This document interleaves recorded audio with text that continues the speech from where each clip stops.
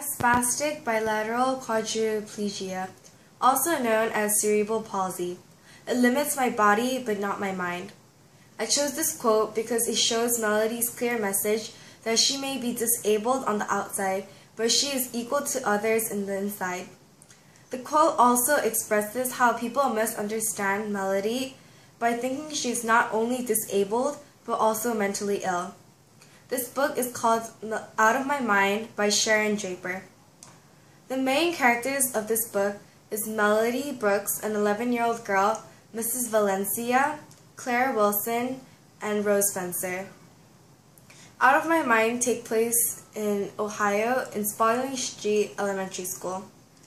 Melody has cerebral palsy, a disease that affects your abilities to move and talk properly, but she has a photogenic memory that makes her the smartest kid in her school. But without being able to control her body or being able to communicate properly, people come to the reach the conclusion that she is mentally ill as well.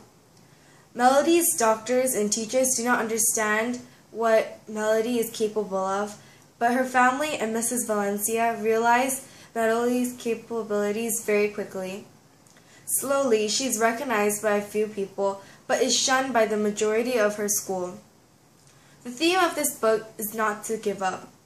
When Melody's doctors said it would be impossible, she attended school just like any other kid.